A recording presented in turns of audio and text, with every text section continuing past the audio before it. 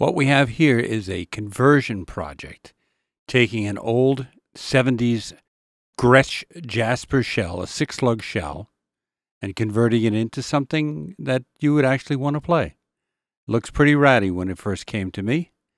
However, the shell wasn't round and the edges weren't too bad. Had a bunch of holes I wanted to dowel up, so I doweled up the entire drum because I wanted to re drill it for 10 lugs. Sanded, filed down all of the dowels that I had put in.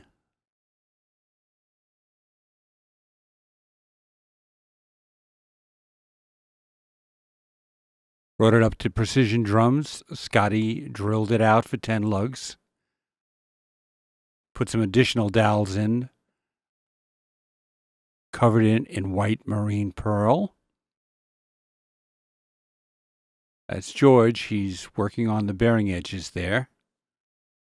Just checking it out, making sure it's absolutely perfect.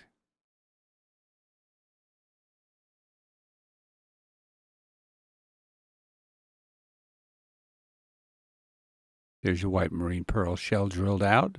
Starting to put on some of the hardware. Got a George Way throw off. Put on the precision badge. And that's the drum before the heads are put on. That's your finished product.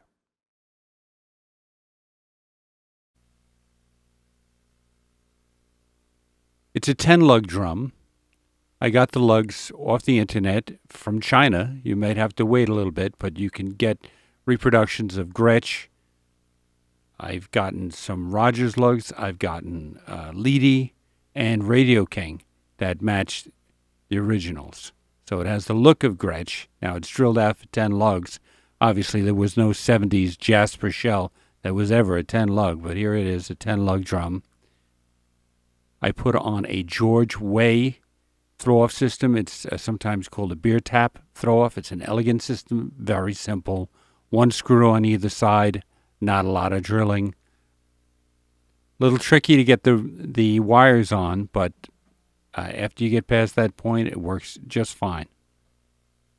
And here you go.